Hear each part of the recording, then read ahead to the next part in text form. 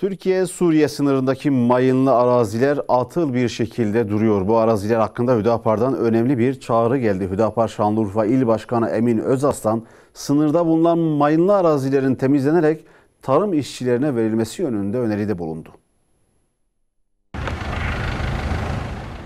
Dünyanın en büyük tarım ülkelerinden biri olarak kabul edilen Türkiye'de tarım sektöründe yaşanan çeşitli sorunlardan dolayı tarım arazilerinden yeterince faydalanılamıyor.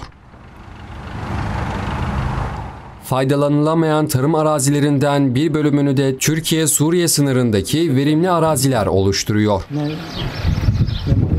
Söz konusu verimli tarım arazilerinin mayınla döşenmesinden dolayı bu arazilerden hiçbir şekilde faydalanılamıyor.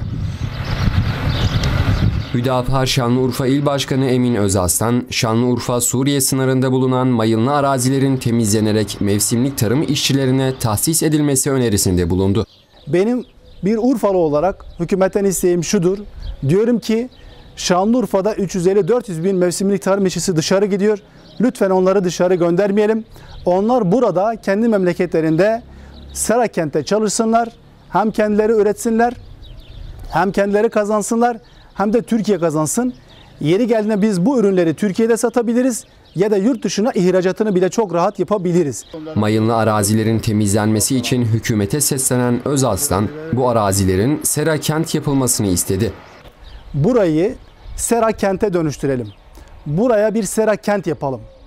Ve hükümet bunu tarım kredi kooperatifleri bünyesinde yapabilir. Urfalı mevsimlik tarım işçilerine tahsis edelim. Ve onlar gelsinler burada ürün eksinler.